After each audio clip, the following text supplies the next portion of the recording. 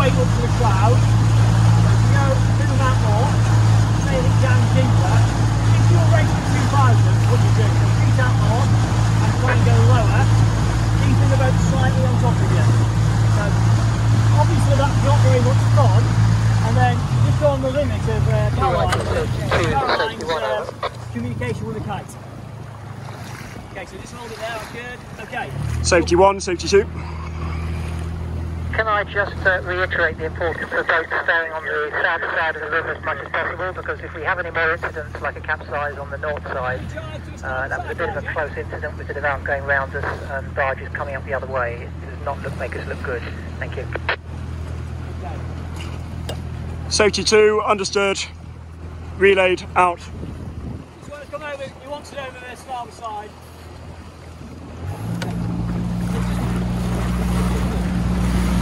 Big gust of wind coming on here now, so this is where you're going to change your angle. So bolt to windward.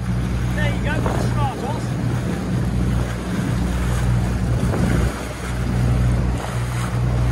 A bit higher.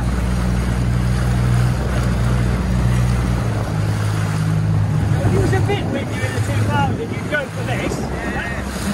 It's about five, mate. You guys are super light.